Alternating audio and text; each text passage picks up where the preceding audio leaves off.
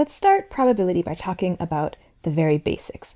Most of what we're going to say for this video is going to feel somewhat natural. It should more or less accord with the way you use probabilities in your ordinary life. First off, we're going to call a probability a number between 0 and 1, and the interpretation of this has something to do with likelihood. If an event has probability 1, that means it's definitely going to happen. If an event has probability 0, it's definitely not going to happen. And if an event has probability 1 half, if I were to run this event a lot of times, I would expect roughly half the time it happened and half the time it didn't. If an event occurs with probability one third, similarly, if I run this event a whole bunch of times, I expect out of the total number of times, roughly one third of them it occurred. So for example, so for example, let's say I flip an unfair coin and the probability of turning up tails is one third. Well, it's not the case that I'm going to go, you know, tails, heads, heads, tails, heads, heads. But if I do it enough times, I count up all of the trials. I think there's 21. And then of those trials, I figure out how many tails I got. This number for a large number of trials should be close to or equal to one third. We're going to use some very specific notation. Events are things that result in values. An event is something that happens that gives you your random value. So for example, rolling a dice is an event. Three is a value arising from that event. Flipping a coin is an event. Heads is a value arising from that event.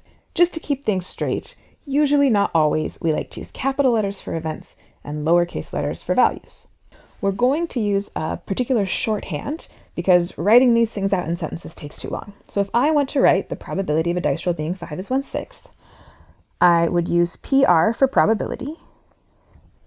My event is a dice roll. So I'm going to give that a variable, and it's nice if it's a capital letter. The value that I'm concerned with is 5. So this is the probability that my event of rolling a dice gives me the value 5. A probability is a number between 0 and 1, and in this case, that number is 1 sixth. Now it's your turn. Take a second, figure out how to express this in a full English sentence, and then think about what number it's equal to. PR means probability. Capital X is our dice roll and the values we're concerned with are 1 or 2. So this expression means the probability that a dice roll is 1 or 2. Probabilities are numbers between 0 and 1. So let's think about what number that is. Well, all six dice rolls are equally likely. And I'm concerned with two out of those six possibilities. So I, it's reasonable to assume roughly 2 sixths of the time, which is the same as 1 third, when I roll a dice, it's going to come up with a 1 or a 2. Now, sometimes we want to bring even more variables into it, and I want to do a really easy example just to get everything straight in our heads. So let's say X is flipping a fair coin. The probability that that event ends up as heads is a half, and the probability that X ends up as tails is a half. So if X is a value that is equal to heads or tails, I can write the probability that big X, that's my event, is equal to little x, that's my value, is 1 half. This looks a little weird at first glance, this x equals x.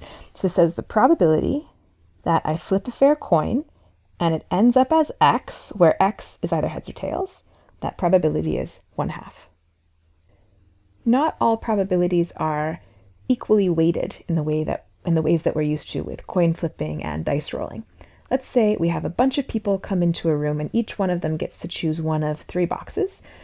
It's not necessarily the case that a third choose A and a third choose B and a third choose C.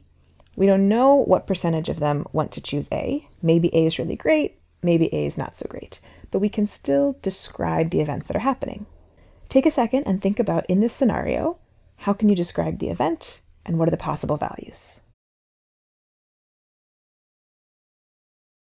The event is the process that's happening, which is someone chooses a box. However you want to describe that. The possible values are, they could choose A, they could choose B, and they could choose C. Now using our notation, I want you to write the probability that the tester chooses product A is one-fifth. Probability is PR. We have some event. We like to give them uppercase names. Let's call this X. The probability this event results in the value A. A probability is a number between 1 and 0, and in this case, we're saying it's one-fifth. So maybe we had 100 people choose a product and 20 of them choose A. We can have more than one event going on. Let's say after everybody chooses their box, they're led into a second room and they get to choose a puppy. Now I have two events, so I'm going to need two different variables for them. What I want you to do first is translate this expression into just an English sentence and then evaluate these. So you should have a number for these second and third expressions. The first expression, PR means probability. X is choosing a product. We want the probability that the tester chooses product A. Y is the puppy. We also want the, we want the probability that both of these things happen, that someone chooses both box A and puppy 2. Now this isn't a number I can tell you.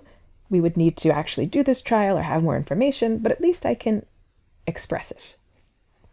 The second and third expressions we actually can come up with values for. This says, what is the probability that the tester chooses puppy 1 or they don't choose puppy 1? The way our system is set up, they definitely have to choose a puppy. So some of them choose puppy 1 and the rest of them don't choose puppy 1. So certainly one of these two things happens. So this probability is 1. With 100% certainty, they choose 1 or not 1. For the second example, what are the probabilities that they choose both puppy 1 and puppy 2? Well, by the design, they only get one puppy, so nobody gets to choose two. So this probability is 0. We can generalize this The, why don't you think about these two numbers? You should be able to tell me an actual number regardless of the event that's going on, if it's coin flipping or dice rolling or puppy choosing. If I want to know the probability that something happens or doesn't happen, well, that's 1. 100% of the time, it happens or it doesn't. This second line is very similar to the first. The probability that x happens plus the probability it doesn't happen. Well, if x happens half the time, that means it doesn't happen the other half. If x happens a third of the time, that means the remainder of the time, two thirds, it doesn't happen. In general, because exactly one of these happens, when I add these probabilities together, this is just describing all possibilities. So again, this is one. This second line is really useful for calculating certain probabilities. We're going to later on talk about an example uh, of the WinFall lottery. For now, we're just going to give a few probabilities from one particular lottery that happened in 2010. So you buy a ticket, and odds are 1 in 50 that you win $27 of that ticket. Odds are 1 in 800 that you win $800 with that ticket, and odds are 1 in 40,000 that you win $22,000 with that ticket. So in the pie chart, we've represented these colored wedges, but of course the gray is the odds that you don't make any money. So we should be able to calculate this probability given these other probabilities using this principle that I can just add them together. I know what percentage of the pie is here, here, and here, and so the gray is just the rest of it. So why don't you take a second, write down the probability of not winning anything with this lottery ticket. So 100% of the time, I either get $27 or $800 or